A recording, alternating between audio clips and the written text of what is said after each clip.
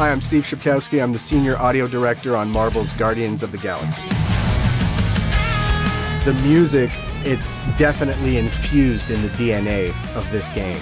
The Guardians are pretty much a rock and roll band. They are a band of misfits that found each other and have a common goal. With Guardians, the music goes beyond what a normal score and soundtrack would do.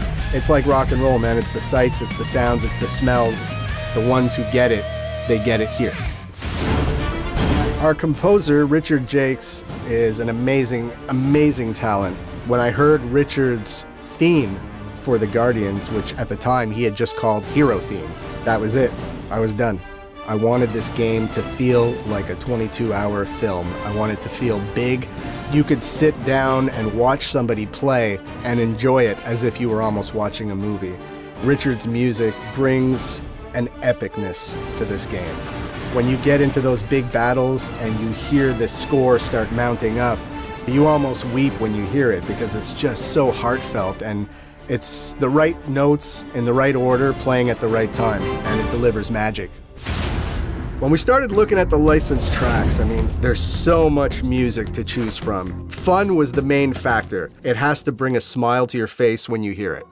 I think we should hear out Groot for once.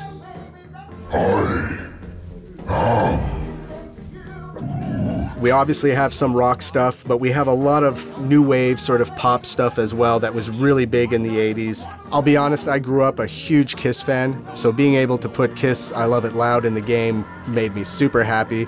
But I also have a huge affection for something like Gary Numan's Cars, which I just find is such a great track and it fits so well. Hot Chocolate, Everybody's a Winner. Amazing song. So if you are a child of the 80s or you have some knowledge of the music in that era, you're going to love it. All right, let's do this. Let's go sell a monster.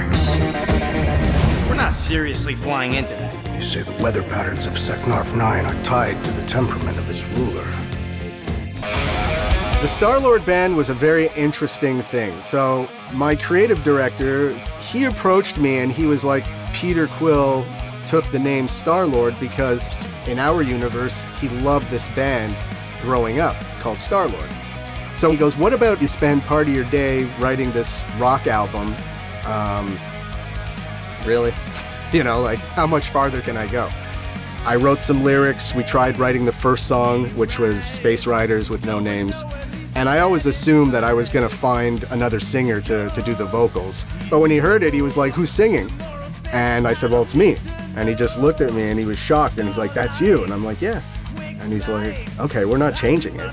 So inside, I was like, you know, a little five year old kid jumping, going, Yes, I'm going to get to sing on this. We wanted to celebrate the Guardians and the whole rock and roll, you know, their dysfunctional family and everything that's that's around all that. And being able to do an album to support this is like a huge honor and I hope people enjoy the album as much as we enjoyed making it.